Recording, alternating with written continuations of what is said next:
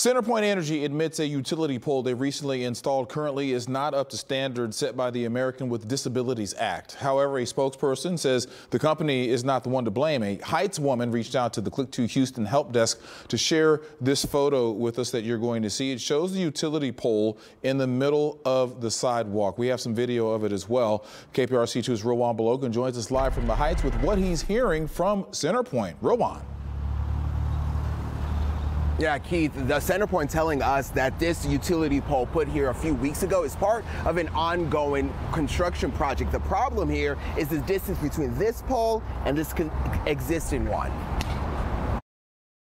So they're short, whatever that is. So it looks like it's just at 2930. Michelle Covard reached out to the Click2Houston help desk about this CenterPoint utility pole put up in recent weeks. The distance between the two, roughly 30 inches. According to the Texas accessibility standards, people who use wheelchairs need a minimum of 32 inches to provide adequate clearance. I have neighbors that are, you know, have kids using strollers and they, um, you know, you benefit from the sidewalk as well. And, and that's the thing about accessibility. It doesn't just benefit a person with a disability, it tends to benefit larger groups. I mean, everybody benefits from having great sidewalks anyway, right? So.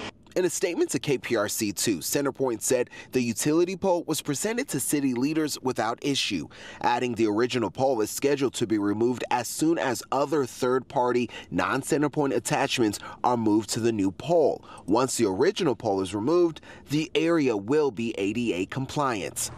As the utility pole remains up for now, Covard hopes moving forward, the company retrains its employees to have everyone in mind. Because I see it so often all throughout the city, and I've heard of this so often throughout the city at various locations, I, I think it's a retraining that needs to happen CenterPoint wide. Now, CenterPoint didn't share with us a timeline as to when this utility pole will be removed and when this sidewalk here will be ADA compliant. Live in the Heights, Roman Belogan, KPRC 2 News.